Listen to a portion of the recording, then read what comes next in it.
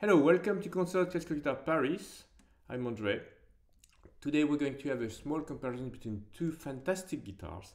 They are traditional guitars.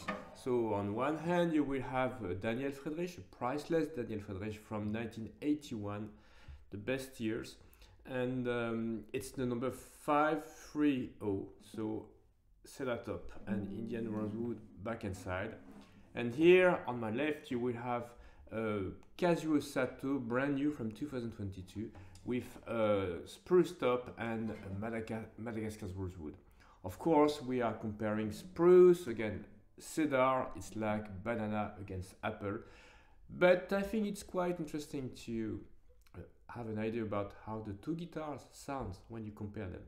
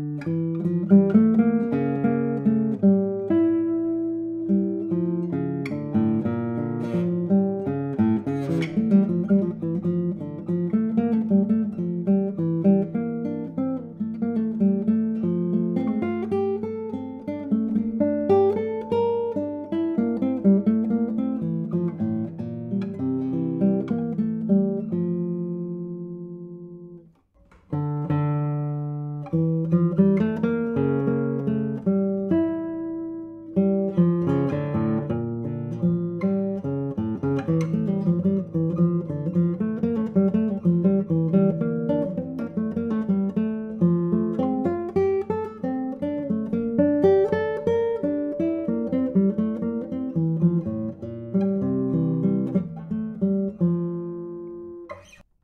two great guitars, and one is from Daniel Friederich, one from Kazuo Sato from Germany, from France, and uh, both are wonderful. Uh, the Daniel Friederich was the best guitar of the 80s, and uh, I think I'm close to think that uh, Sato is as well one of the best guitar from the years 2022, which is uh, 40 years after. So it's a traditional sound, but uh, a little bit more modern and uh, with a lot of development. Thank you for watching. Bye bye.